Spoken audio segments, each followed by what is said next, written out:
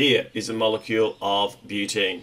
So you can see there are one, two, three, four carbons on this one, and there are two, three, four, five, six, seven, eight hydrogens. So if I was to look at um, butene, one of the things about butene is the double bond could be in more than one position, and that's what I'm after in order to look at position isomerism.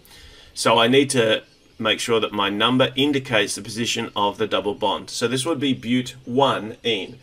Okay, it's off an end carbon, and so while I could go 1, 2, 3, 4, or 1, 2, 3, 4, if I start from here, it's number 1, that's already the smallest number, so that's the easiest way for me to name that. Again, this time what I want to do is keep the chain length the same, but I want to change the position of my functional group. So the simplest way for me to do that is to again take a methyl group off, but rather than putting it in the middle, this time I'm going to put it at the end. What that's going to do is it's going to move my functional group now to between the two middle carbons.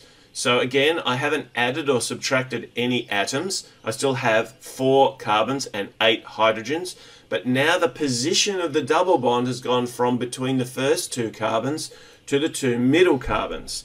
So this one would be but 2-ene.